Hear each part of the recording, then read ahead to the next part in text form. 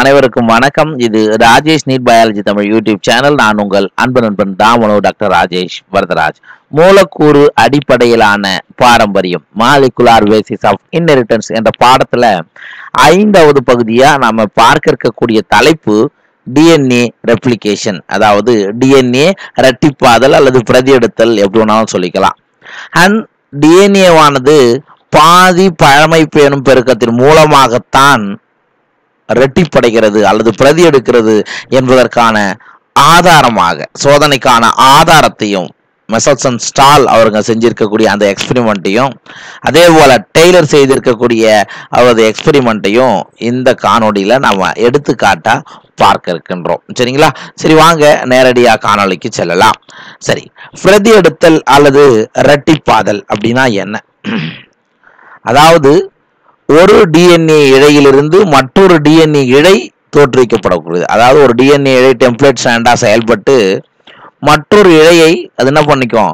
உருவாக்கி கொள்ளும் சரியா? ஸோ இந்த நிகழ்வை தான் நம்ம என்ன சொல்கிறோம் ரட்டிப்பாதல் அப்படின்னு சொல்கிறோம் நமக்கு ஏற்கனவே தெரியும் ஆயிரத்தி தொள்ளாயிரத்தி ஐம்பத்தி மூணில் வாட்சன் மற்றும் கிரீக் இவங்க தான் என்ன பண்ணாங்க? டிஎன்ஏ உடைய இரட்டை சுருள் மாதிரியை கொடுத்தாங்க. டபுள் எலிக்கல் ஸ்டாண்டை வந்து ஃபர்ஸ்ட் ஃபர்ஸ்ட் ஆயிரத்தி தொள்ளாயிரத்தி ஐம்பத்தி மூணுல வாட்சன் மற்றும் கிரீக் அவங்க தான் முத முதல்ல அதனுடைய வரைபடத்தை விலைக்கு சொல்லியிருக்காங்க. ஸோ இவங்க இதை மட்டும் சொல்லலை. டிஎன்ஏ எப்படி ரெட்டிப்படைகிறது அந்த வகை எந்த மாதிரி டிஎன்ஏ ரெட்டிப்படைகிறது ரெட்டிப்பாதல் நிகழ்கிறது என்பதையும் யார் விளக்கினது? இவங்க வாட்சன் அண்ட் கிரீக் தான் சொல்லியிருக்காங்க. அண்ட் டிஎன்ஏ உடைய ரெண்டு இழைகளும் பிரிந்து வார்ப்பு டிஎன்ஏவாக செயல்பட்டு புதிய டிஎன்ஏ உருவாக்கும். அப்படின்னா என்ன? இப்போ இப்போ நமக்கு தெரியும் டிஎன்ஏவில் ரெண்டு இழை இருக்கும்ப்பா இப்படி இருக்கும். டபுள் எலிக்கல் ஸ்டாண்டு தான் நம்ம படித்தோம் ரைட் இப்படி ஒன்று இப்படி ஒரு இழை இருக்குது அண்ட் இன்னொரு டிஃப்ரென்சியேஷனோட நம்ம காமிக்கலாம். இப்படி ஒரு இழை இருக்குது இப்படி ஒரு இழை இருக்குன்னு வச்சுக்கோங்க. அப்ப ரெண்டு டிஎன்ஏ ஒரு இது ஒரு இடை இது ஒரு இடை ரெண்டுமே எப்படி செயல்படுகிறதா? டெம்ப்ளேட் டிஎன்ஏ அதாவது வார்ப்பு டிஎன்ஏ வார்ப்பு டிஎன்ஏ என்னன்னா அதுக்கேற்ற மாதிரி இன்னொரு இதுவை அது உருவாக்கக்கூடிய தன்மை கொண்டதாக இருக்கும். அப்போ இங்கே பாருங்க. ஃபார் எக்ஸாம்பிள் இது ஒரு ஸ்டாண்டுனா அப்போ இதுக்கு நிகரான நைட்ரஜன் காரங்களை இதோட பைண்ட் பண்ணி இப்படி ஒரு இடையை உருவாக்கி கொள்ளும் அண்ட் இதுக்கு இதுக்கு இணையானதை இந்த பக்கத்தில் இது உருவாக்கி கொள்ளும் சரிங்களா? ஸோ இந்த மாதிரி இப்போ ரெண்டு ஸ்டாண்ட் இருக்குது அப்புறம் பார்த்தீங்கன்னா என்னவா இருக்கும்? நாலு ஸ்டாண்டாக உங்களுக்கு உருவாக்குறது. ரெண்டு ஸ்டாண்டுன்றது அப்புறம் உங்களுக்கு எப்படி இருக்கும்? இந்த மாதிரி நாலு ஸ்டாண்டாக உருவாக்கி கொள்ளும். ஸோ இந்த மெத்தடு தான் என்னது? செமி கான்சர்வேட்டிவ் மெத்தட் அப்படின்னு சொல்லி சொல்லுவோம். பாதி பழமை பேணும் பெருக்கம் அப்படின்னு சொல்லுவாங்கய்யா. ரைட்டு அப்போ ஒவ்வொரு இழையும் டெம்ப்ளேட் ஸ்டாண்டா செயல்பட்டு அது என்ன பண்ணும்? அதற்கேற்ற நகலை உருவாக்கி கொள்ளும் இதுதான் டிஎன்ஏ ரெட்டிப்பாதல் அப்படின்னு யார் சொன்னா? வாட்சன் கிரிக் எப்ப சொன்னாங்க? ஆயிரத்தி தொள்ளாயிரத்தி ஐம்பத்தி மூணுல சொல்லியிருக்காங்க. ரைட் ரெட்டிப்படைந்த பிறகு ஒவ்வொரு டிஎன்ஏ மூலக்கூறும் ஒரு தாய் டிஎன்ஏ இழை மற்றும் புதிதாக உருவாக்கப்பட்ட இழையையும் கொண்டிருக்கும். அப்படின்னா என்ன? ஒரு டிஎன்ஏ ஸ்டாண்ட் இருக்குப்பா. ஒரு டிஎன்ஏ ஸ்டாண்ட் இருக்குது இப்படி இருக்குது இது ஒரு சிங்கிள் ஸ்டாண்டு அண்ட் இன்னொரு ஸ்டாண்டு சரிங்களா? இப்படி இருக்குது இது வந்து ரெட்டிப்படையுதுப்பா ரெட்டிப்படைந்த பிறகு எப்படி இருக்கும் அப்படின்னா அதை தான் இங்கே சொல்கிறோம்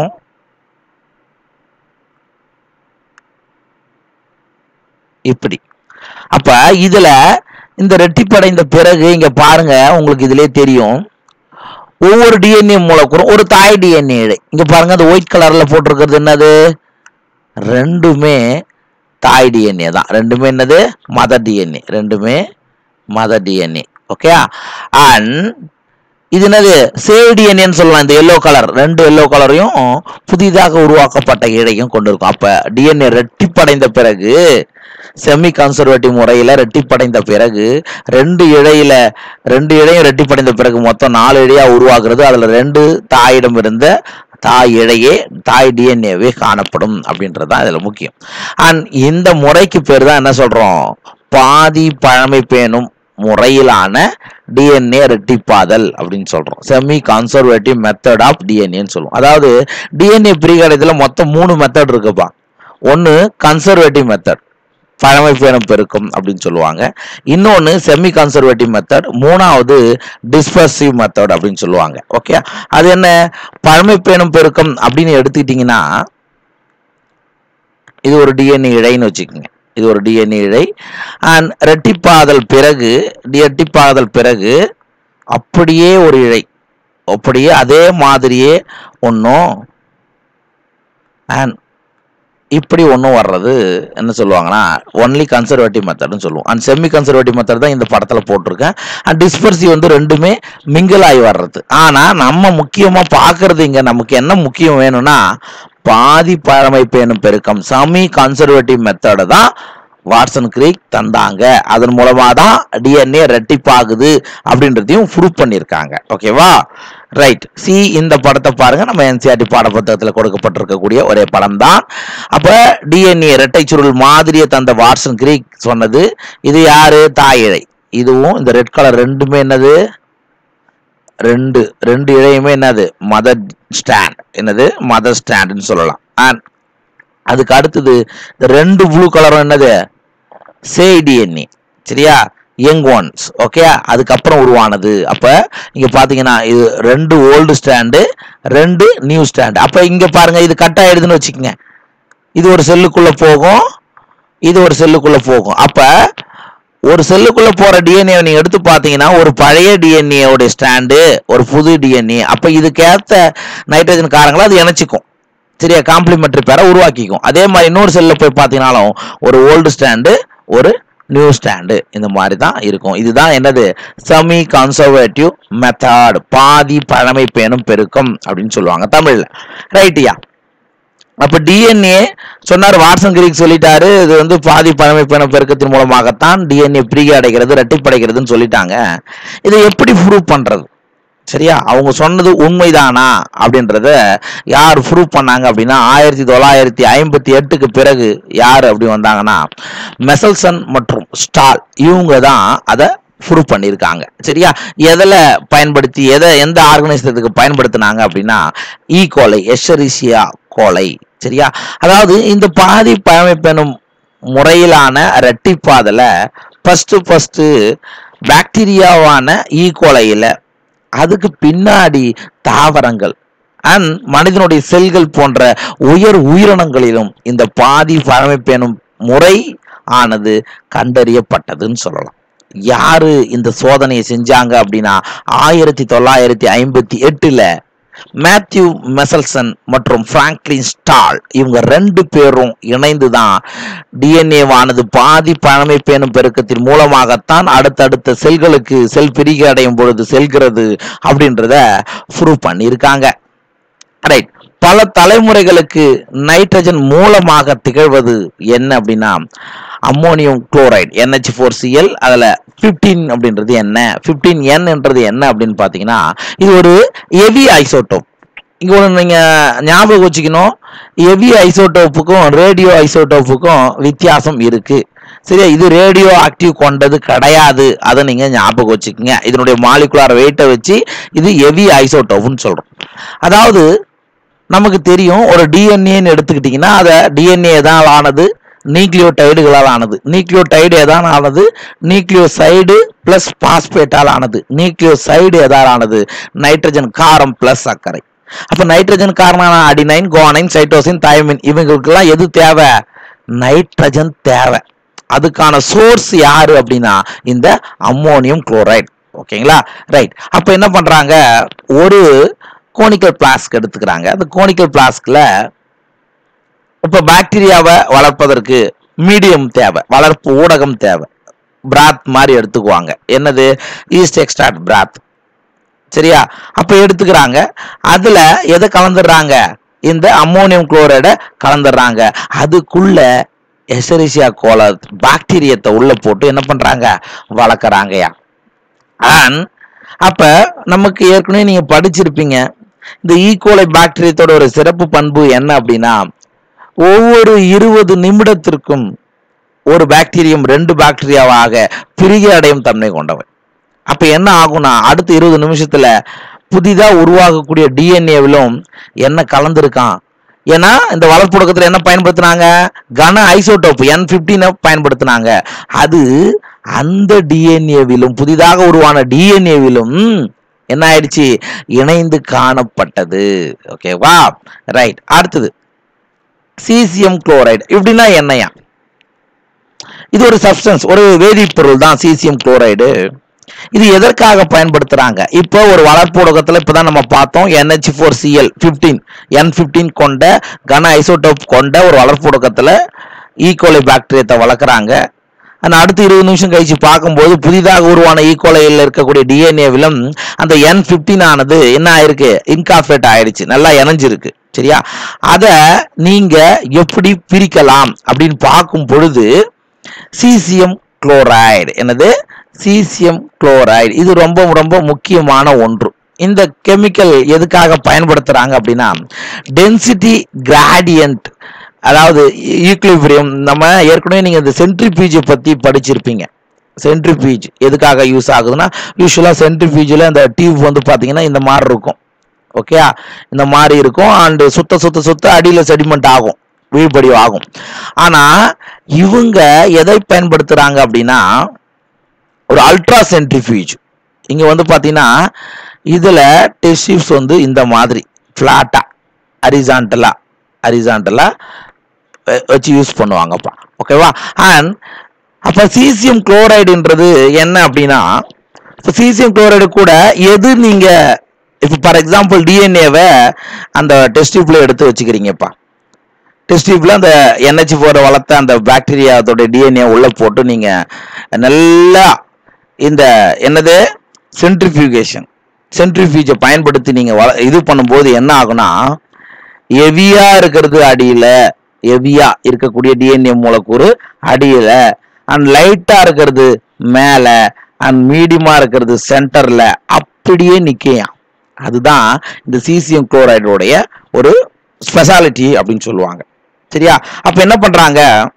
இந்த எவி டிஎன்ஏ என் ஃபிஃப்டீன் கலந்த அந்த டிஎன்ஏவை ஒரு டெஸ்டிப்ல வச்சு அடர்த்தி சாய்வு கொண்ட ஊடகம் எதுனா சீசியம் குளோரைடு தான். அதாவது டென்சிட்டி கிராடியன்ட் ஓகே ஏன்னா அதுதான் நான் இப்போ சொல்லிட்டேன். அடர்த்திக்கு ஏற்ப அது பிரிக்கக்கூடிய தன்மை கொண்டது அப்படின்னு சொல்லிட்டேன் ரைட்டா அப்போ என்ன பண்ணுறாங்க சென்ட்ரிஃபிகேஷனை பயன்படுத்தி எது எதெல்லாம் ஹெவி டிஎன்ஏ எது எதெல்லாம் லைட் டிஎன்ஏ அப்படின்றத உங்களால் பிரிக்க முடியும். அதுக்கு தான் சிசிஎம் குளோரைடை பயன்படுத்துகிறாங்க ரைட் அப்போ ஒன்றே ஒன்று நீங்கள் ஞாபகம் வச்சுக்கணும். என் ஃபிஃப்டீன் அப்படின்றது ஒரு ரேடியோ ஆக்டிவ் ஐசோடோப் கிடையாது. கதிரியக்க தன்மை கொண்டது கிடையாது. மாறாக அது ஒரு கன ஐசோடோப் தான். அண்ட் இது எங்கிருந்து பிரிக்கிறாங்க? இதை எங்கிருந்து பிரிக்கிறாங்க? சாதாரண நைட்ரஜனுடைய சோர்ஸ் என் ஃபோர்டீன் பா. சரியா? ஸோ என் ஃபோர்டீன்ல இருந்து அதனுடைய கணத்தின் அடிப்படையில் பிரித்தெடுக்கப்படுவது தான் என் ஃபிஃப்டீன் அப்படின்றத நீங்கள் ஞாபகம் வச்சுக்கோங்க. என் ஃபிஃப்டீன் அப்படின்றது ரேடியோ ஆக்டிவ் ஐசோடோப் அல்ல. ஒரு கன ஐசோடோப் எங்கிருந்து பிரித்தெடுக்கப்படுகிறது? என் ஃபோர்டீன் அப்படின்ற ஒரு சாதாரண நைட்ரஜன்ல இருந்து பிரித்தெடுக்கப்படக்கூடியது தான் என் ஃபிஃப்டீன் அப்படின்னு ஞாபகம் வச்சுக்கோங்க. ரைட் சி இந்த மெத்தடை பாருங்க. இந்த மெசசன் அண்ட் செஞ்ச அந்த எக்ஸ்பிரிமெண்ட் என்ன அப்படின்றத நீங்க இங்க பார்த்துக்கலாம். சரி நான் இப்பதான் சொன்னேன் இந்த சென்ட்ரிபியூஜ்ன்றது இந்த அரிசாண்டலா பயன்படுத்துவாங்க அப்படின்னு சொல்லிட்டு. முதல்ல இங்க பாருங்க. என் ஃபிஃப்டீன் கொண்ட ஒரு டிஎன்ஏ என் ஃபிஃப்டீன் வளர்ப்பு ஊடகத்தில் என்ன பண்ணுறாங்க ஒரு டிஎன்ஏவை வளர்க்குறாங்க. அண்ட் இதை இதை என்ன பண்ணுறாங்க அடுத்த டுவெண்ட்டி மினிட்ஸுக்கு இந்த டிஎன்ஏ என்ன ஆகும்? அடுத்த ரெண்டு பேக்டீரியாவாக பிரியும் பொழுது ரெண்டு தனித்தனி டிஎன்ஏவாக பிரியுது. இங்கே பாருங்க. இந்த ரெட் கலர் கொடுத்துருக்கிறது என் ஃபிஃப்டீன் சரியா? அப்போ இங்கே பாருங்க. என் ஃபிஃப்டீன் அப்போ இங்கே இங்கே ஜஸ்ட் நான் உங்கள் போடுறேன். இது தனியாக இங்கே என் ஃபிஃப்டீன் ஒன்று போயிடுச்சு.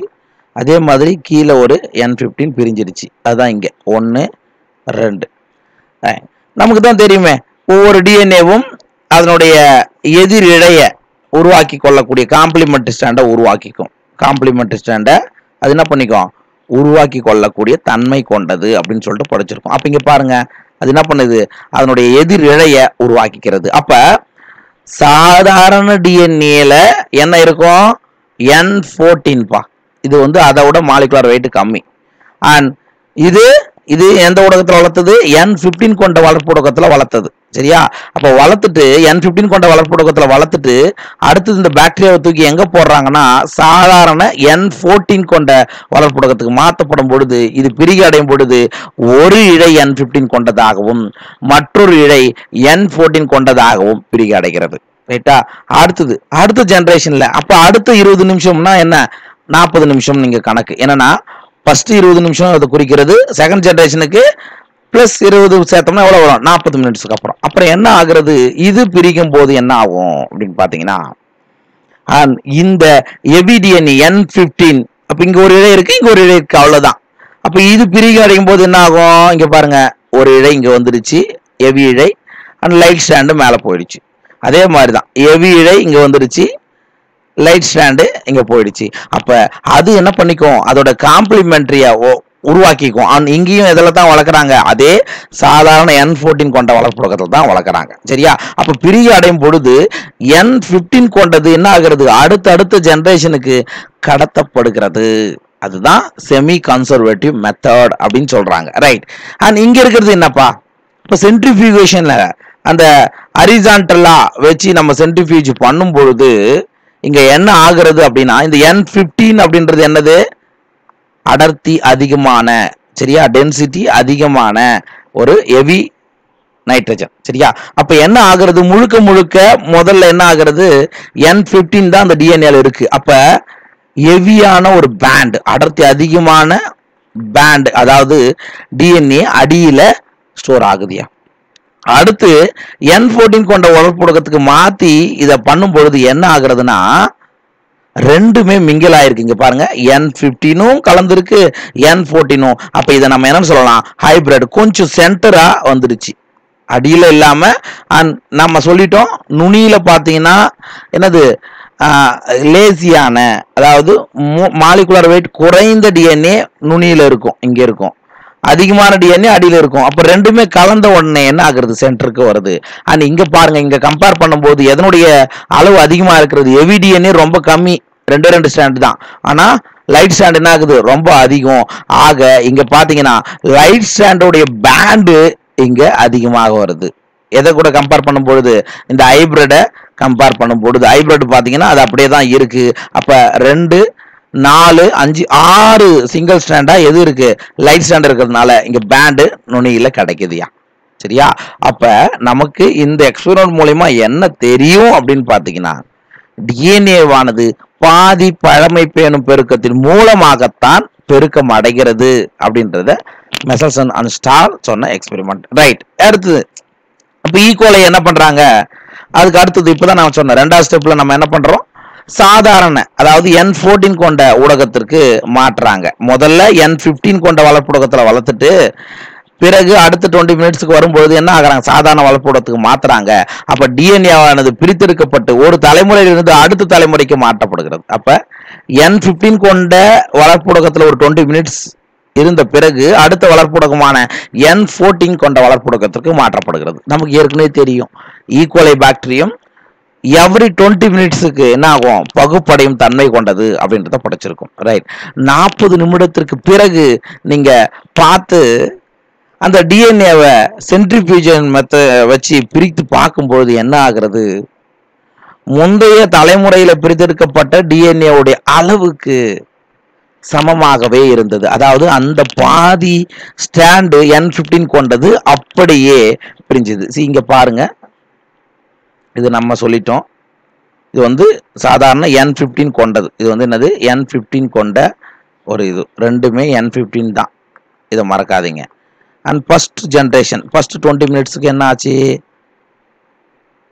இது ஒரு இழை. அண்ட் இது ஒரு இழை. இது வந்து என் ஃபிஃப்டீன் கொண்ட இழை. ஒயிட் கலரில் போட்டுக்கிறது என் ஃபிஃப்டீன் கொண்ட இழைன்னு வச்சுக்கோங்க. அப்போ இது எதில் வளர்க்குறாங்க?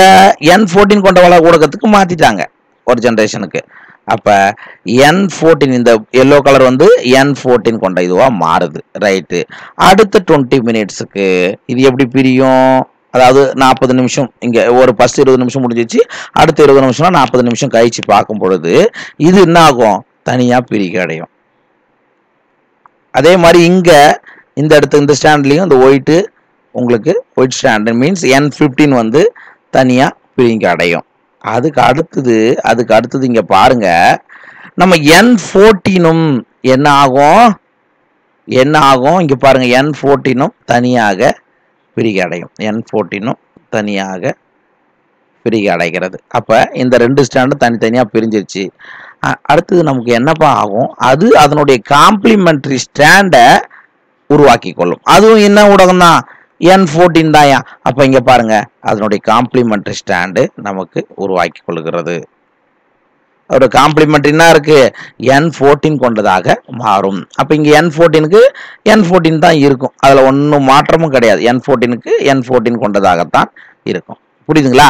அப்போ நாற்பது நிமிஷத்துக்கு பிறகு நீங்கள் சென்ட்ரிபியூஜ் பண்ணி பார்த்தீங்கனாலும் முந்தைய தலைமுறையில் உங்களுக்கு எப்படி கிடச்சிது? அதே மாதிரி அதே மாதிரி இங்கே ஒன்றும் இங்கே ஒன்றும் கிடச்சிருக்கு. இதுக்கு தனியாக என் ஃபோர்டீன் இந்த லைட் டிஎன்ஏவும் நிறைய கிடச்சிருக்கு. சரிங்களா? ரைட் இதுதான் மெசல்சன் அண்ட் ஸ்டால் செஞ்ச எக்ஸ்பெரிமெண்ட் அடுத்தது இதே மாதிரியான சோதனையை குரோமோசோமுக்குள்ள செஞ்சவங்க யார் அப்படின்னா டெய்லர் மற்றும் அவரது சகாக்கள் செஞ்சுருக்காங்க. அது பார்க்கலாம். ஸோ டெய்லர் மற்றும் அவரது சகாக்கள் ஆயிரத்தி தொள்ளாயிரத்தி ஐம்பத்தி எட்டு அதே ஆயிரத்தி தொள்ளாயிரத்தி ஐம்பத்தி எட்டில் விசியா பேபா அப்படின்ற ஒரு பிராட் பீன்ஸ் சரியா? ஒரு பட்டையான ஒரு பீன்ஸ் அந்த தாவரத்தினுடைய வேர்லேருந்து ஒரு குரோமோசோமை எடுத்து அந்த டிஎன்ஏவில் எதை இன்கார்பரேட் பண்ணிட்டாங்க?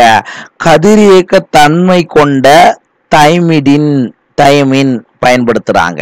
இது கதிரியக்க தன்மை கொண்டதை பயன்படுத்துறாங்க. ஆனா இதுக்கு முன்னாடி நம்ம என்ன பண்ணோம்? ஒரு ஹெவி ஐசோடோப்பை மட்டும்தான் மெசசன் அண்ட் ஸ்டால் பயன்படுத்தினாங்க. ஆனா இந்த எக்ஸ்பெரிமெண்ட்டுக்கு டெய்லர் என்ன பண்ணாரு? அந்த குரோமோசோம்ல இருக்கக்கூடிய டிஎன்ஏவுடன் கதிரியக்க தன்மை கொண்ட உடனே என்ன பண்ணிட்டாரு? நல்லா மிங்கிள் பண்ணி அது அடுத்த ஜென்ரேஷனுக்கு பிரிக அடையும் பொழுது என்ன ஆகிறது? அப்ப வேர் செல்கள் ஈஸியா என்ன ஆகும்? வேகமாக பகுப்படைய தன்மை கொண்டதுன்னு படிச்சிருக்கோம். அடுத்து பிரிக்கும் பொழுது அதில் உருவான டிஎன்ஏவிலையும் எதிர் இருக்கான் கதிரியக்க தைமடின் இருந்திருக்கு. அப்போ இவரும் என்ன சொல்கிறாரு டிஎன்ஏவானது பாதி பழமை பேணும் பெருக்கத்தின் மூலமாகத்தான் பெருக்கம் அடைகிறது அப்படின்னு சொன்னார்.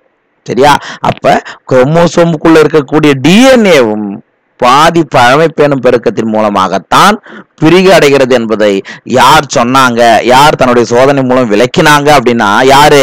டெய்லர் மற்றும் அவரது சகாக்கள் பாதி பழமை பேணும் பெருக்கத்தின் மூலமாகத்தான் டிஎன்ஏ பிரிகடைகிறது என்பதை சொன்னாங்க ஓகே ஸோ இதுதான்ப்பா டிஎன்ஏ ரெட்டிப்பாதல்ல எக்ஸ்பிரிமெண்டல் ப்ரூஃப் ஸோ இந்த காணொலி உங்களுக்கு புரிஞ்சிருக்கும்னு நினைக்கிறேன். ஸோ மறக்காம புரிஞ்சிருந்தா தமிழ் வழியில் நீட் தேர்வு எழுதக்கூடிய மாணவர்களுக்கு நீங்கள் இந்த காணொலியை ஷேர் பண்ணுங்க. மறக்காம சேனலை சப்ஸ்கிரைப் பண்ணுங்க.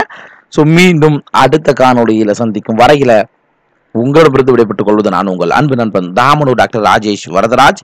Rajesh NEET biology Tamil YouTube சேனலில் இருந்து. நன்றி வணக்கம்.